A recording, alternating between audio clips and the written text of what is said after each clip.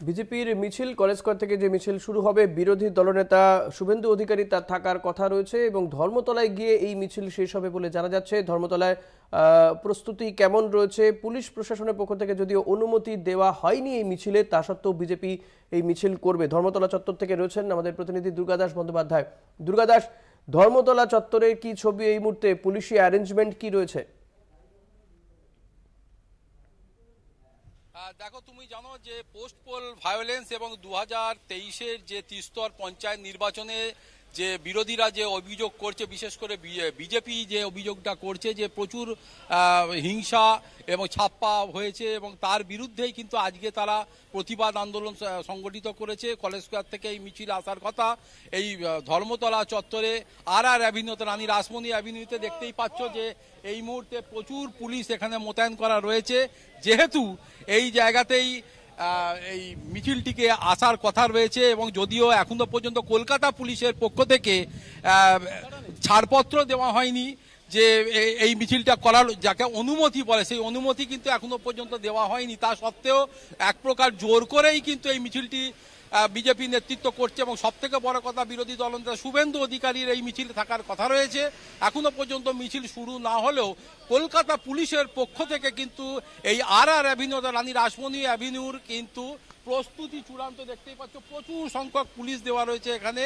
যারা এই মিছিলটি এলে যাতে কোনো রকম উত্তপ্ত পরিবেশের সৃষ্টি না হয়, সেই কথাটা মাথায় রেখেই কিন্তু আর অন্যদিকে যেহেতু খুব কাছেই একুশে জুলাইয়ের মঞ্চ রয়েছে, অতএব এই দুটো যাতে কোনোভাবে ক্ল্যাশ না করে যায়, তার জন্য সমস্ত ধরনের প্রিকশন তারা নিয়েছে এবং এই অ্যারেঞ্জমেন্ট ইতিমধ্যে রয়েছে। যদিও এখনও পর্যন্ত সংখ্যা যে শেষ পর্যন্ত মিছিলটি আর আর অ্যাভিনিউতে প্রবেশ করবে কিনা।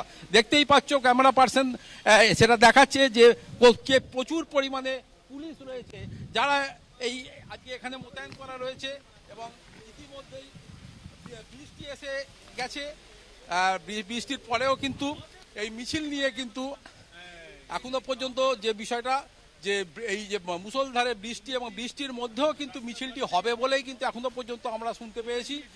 আর পুলিশের অ্যারেঞ্জমেন্ট দেখেই বুঝতে পারছ যে কলকাতা পুলিশ কিন্তু এই মিছিলটিকে ঘিরে কোনো রকম যাতে অশান্তির সৃষ্টি না হয়, কোনো রকম ন্যূনতম অশান্তির এখানে যেন ক্রিয়েট না করা হয়, তার জন্য কিন্তু তারা সমস্ত ব্যবস্থাটি পাকা রেখেছে।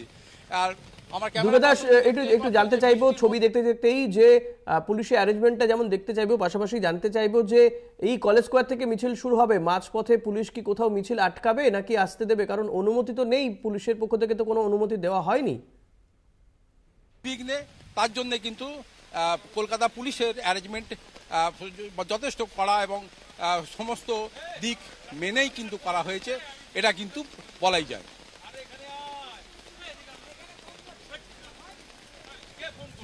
দুর্গাদাস শোনা যাচ্ছে আমার কথা?